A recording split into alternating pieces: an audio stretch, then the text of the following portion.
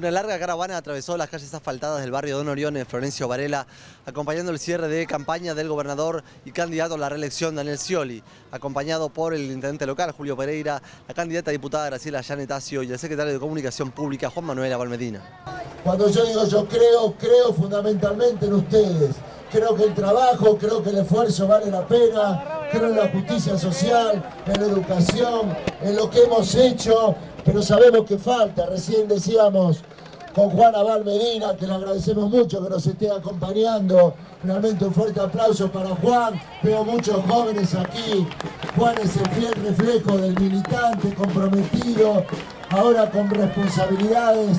Por eso creemos en los jóvenes, en los trabajadores, creemos en las mujeres de Florencio Varela, en nuestros queridos jubilados, en la familia, en todos.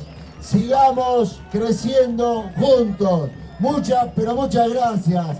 Este respaldo nos da más ganas que nunca de trabajar junto a Julio para completar todos los sueños pendientes. Muchas gracias.